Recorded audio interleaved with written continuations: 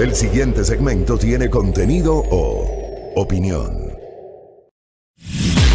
La entrevista en A Primera Hora. Analizamos los hechos del momento junto a sus protagonistas.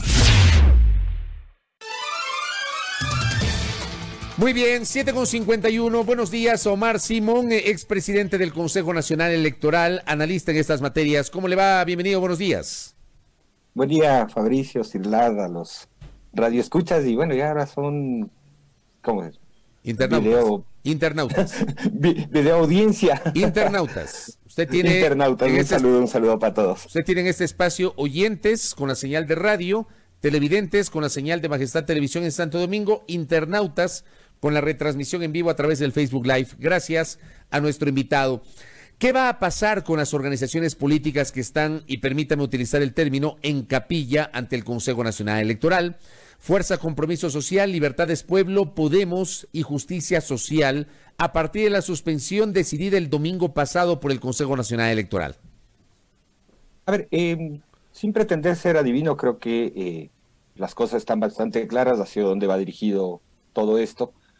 Eh, creo que se discutió, discutió hasta la saciedad, incluso la propia presidenta del Consejo Electoral se refirió al tema sobre los temas de competencia y la imposibilidad, digamos así, legal de que una, un acto administrativo de la Contraloría pueda afectar el registro de organizaciones políticas, que es un tema, como se ha dicho ya muchos, muchos analistas, es un tema de competencia exclusiva del Consejo Nacional Electoral. Sin embargo, eh, hubo esta resolución en la cual adicionalmente llama la atención eh, la forma en la que se toman las decisiones y las propias resoluciones, que no están contempladas, ninguno de los actos que se realizaron el viernes pasado están El contemplados en norma alguna.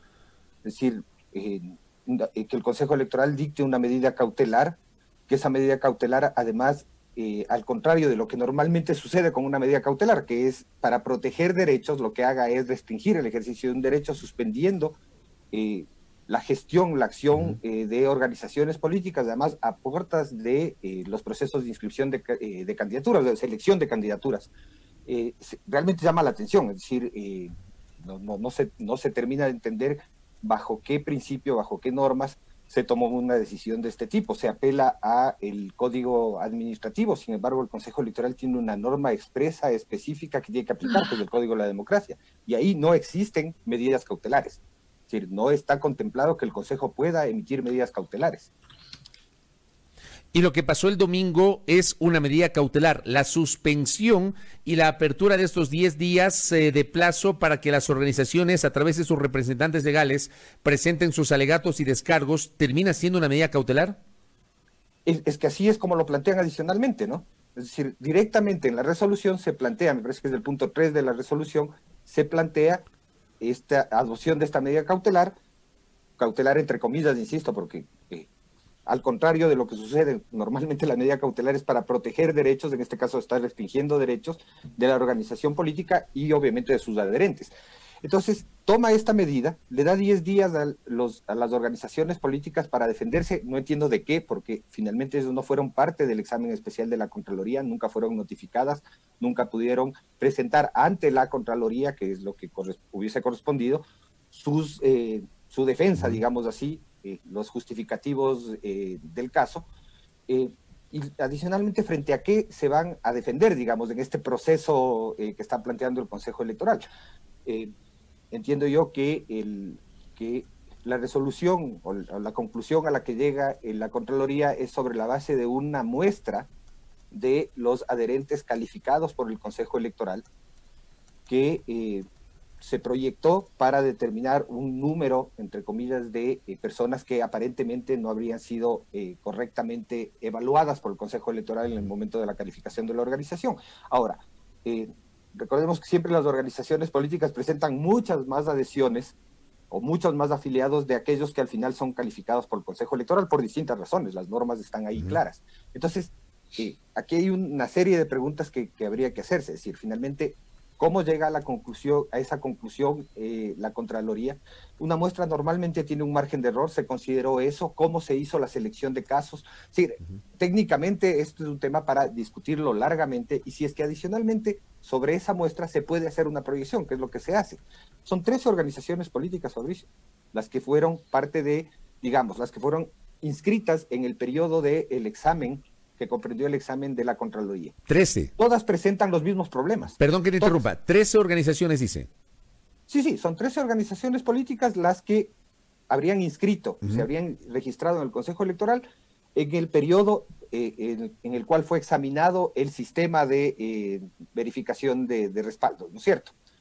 Todas presentan los mismos problemas, es decir, todas tienen problemas de cédulas eh, incompletas, de personas que habrían fallecido, eso también es un tema discutible, porque si fallecieron en el periodo en que la organización política, entre que recolectó su firma y presentó al Consejo Electoral, eso no es responsabilidad de una organización política, evidentemente, eh, ni tampoco tiene por qué saberlo. Eh, habla de personas menores de edad eh, a la fecha, es decir, que no, no cumplían los años necesarios para el ejercicio de sus derechos políticos, sino una serie de cosas, pero todas las organizaciones, las 13 organizaciones presentan los mismos problemas. Entonces, lo que sea, al hacer la proyección se dice faltaron firmas. ¿Qué dice el Código de la Democracia? Si le falta algún requisito a la organización política, esta tiene el plazo de un año para completar esos requisitos. Si se cumplió esa fase, al revisarse nuevamente las firmas y encontrar que puede haber faltantes, no sería lo, lógico que se abra un, abra, un nuevo plazo para que las organizaciones políticas completen esos requisitos. Es decir, aquí hay una serie de cosas que discutir. Yo voy a resumir la situación actual del Consejo Electoral y del país con dos frases que no son mías, eh, pero que han sido dichas últimamente en el país. La fuerza de las circunstancias, usted recordará en qué contexto se dijo eso, Fabricio. Y la segunda, hace poco tiempo, lo que dijo el ministro de Finanzas de la realidad superó la legalidad. Es decir, estamos viviendo en un estado de indefensión donde finalmente hay ciertos temas que no solo está manejando desde la perspectiva legal, jurídica, eh, sino desde una perspectiva y una visión política. Y esto creo que es clarísimo y no creo que nadie puede discutirlo. Usted señala, por ejemplo, que el periodo auditado o en el periodo auditado por la Contraloría se registraron 13 organizaciones políticas. ¿Cuál es la situación de las otras nueve? Estamos hablando de cuatro cuya situación ha sido suspendida y están a puertas de la extinción, de la supresión del registro electoral. ¿Qué pasó con las otras nueve?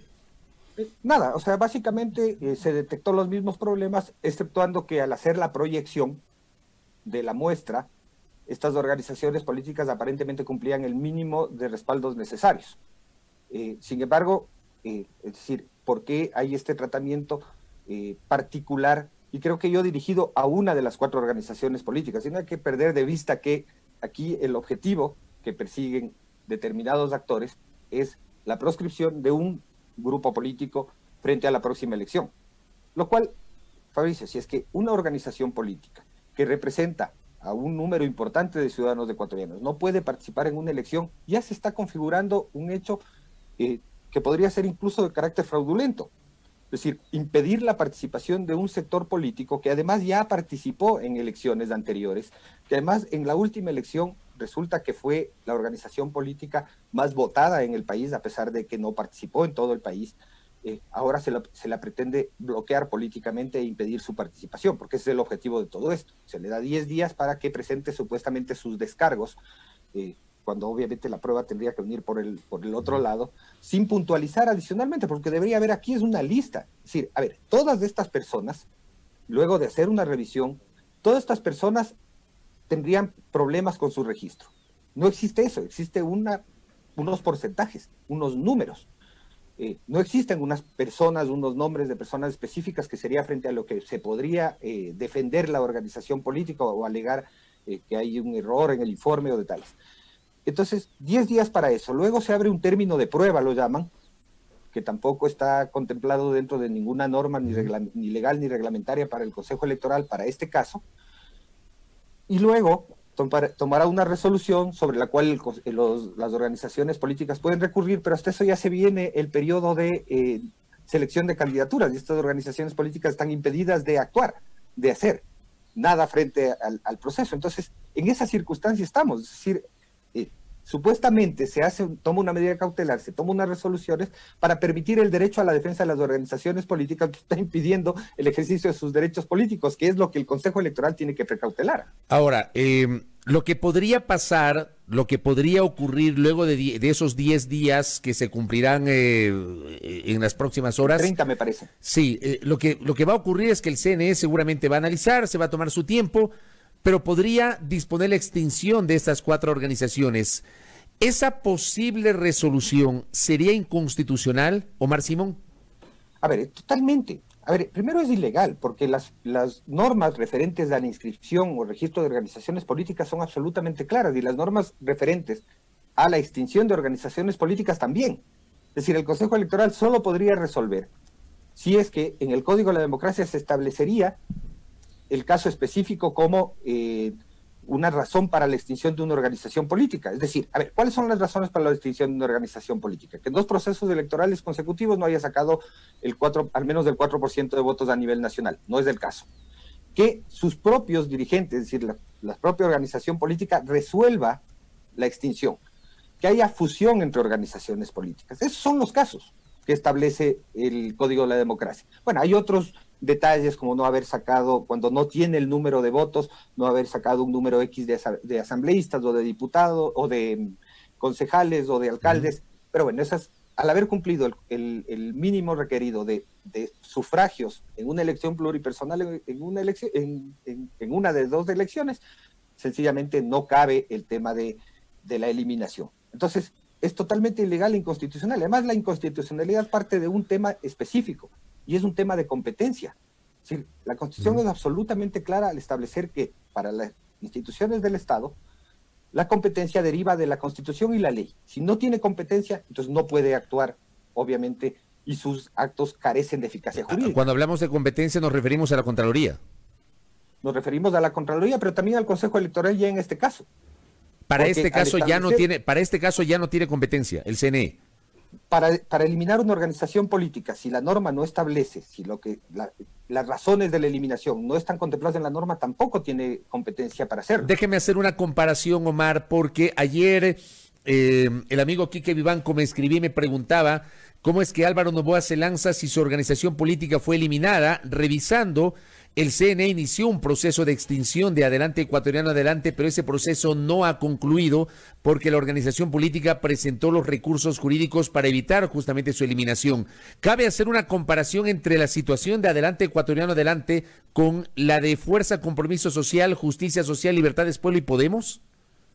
Eh, la única comparación que se puede hacer es la diferencia en la velocidad y en los tiempos en los que se ha tratado cada tema.